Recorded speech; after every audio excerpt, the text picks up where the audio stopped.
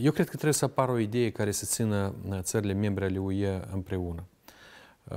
O idee care nu obligatoriu să caute dușmani comuni.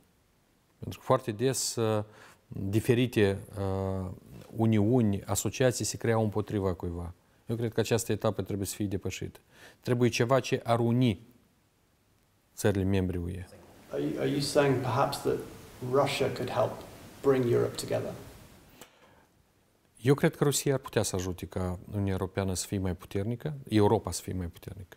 Eu sunt adeptul ideii unei Europe mari, de la Lisabona la Vladivostok, această idee a fost anunțată încă de Charles de Gaulle la mijlocul, anului, mijlocul secolului precedent și tot este des repetată de diferiți lideri mondiali.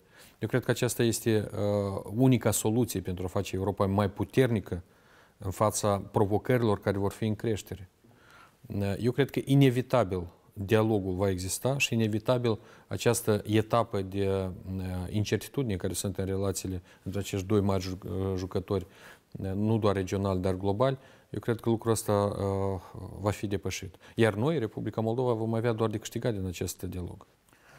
Interesele comune o să unească pe Uniunea Europeană și Federația Rusă. Și ce vorba de uh, interese comune și în domeniul economic și în domeniul provocărilor care sunt acum la nivel global.